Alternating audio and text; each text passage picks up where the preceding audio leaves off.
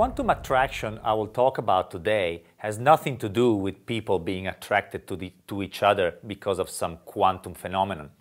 Although it will enter in some living creature's life, which is the gecko sticking up glass walls. It's an incredible feature that the gecko has, and it's based upon a true attractive force which is of quantum mechanical origin. It's called the van der Waals force, and I will try and explain to you in brief where it comes from. Let me get back to the really simple basics of attractive forces. Everybody knows that if you take a positively charged particle and a negatively charged particle, they attract each other. Hmm? Opposite charges attract. This is called the Coulomb force. Everyone knows that. The next level of sophistication is to take dipoles. A dipole is two charges of opposite sign held at some distance from each other. So you can imagine that if you have two dipoles, they will attract each other if they are oriented in the right direction. So in this case, there will be an attractive force between the positive and the negative here that is stronger than the attractive force between these ones because they're further away. So the two dipoles will like to click together along this axis. A real-life example of an electric dipole is water.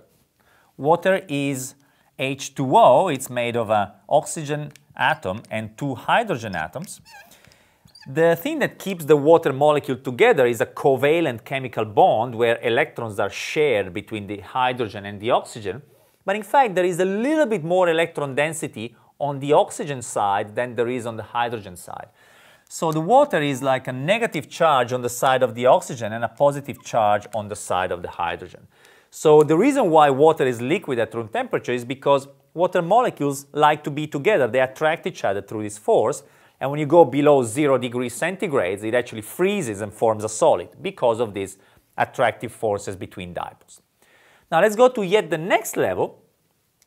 Let's try and find out what is the force between neutral particles.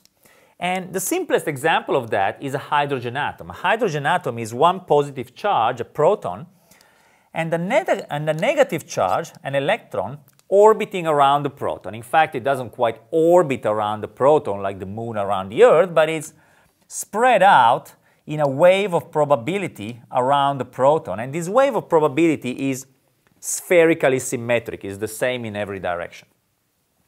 Now let's imagine you take another hydrogen atom nearby, and you ask yourself, is there any force between these two hydrogen atoms?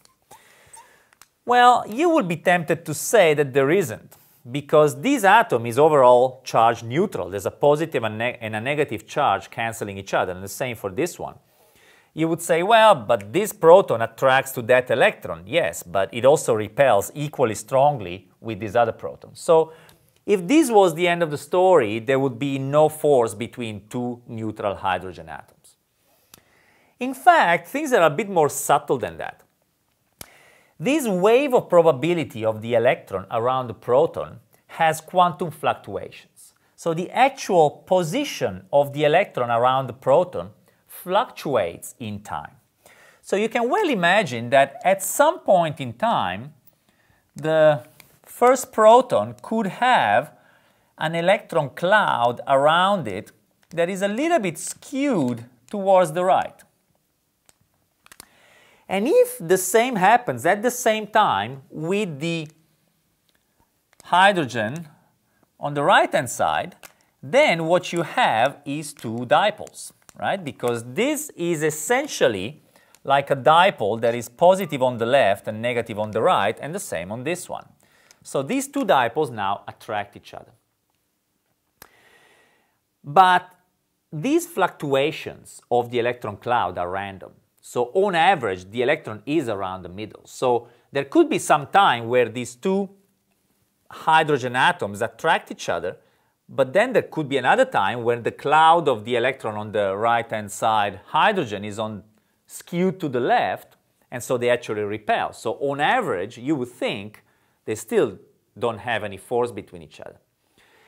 The interesting thing is that when you put them really close together, you get some form of correlation between the quantum fluctuations of the two electron charges.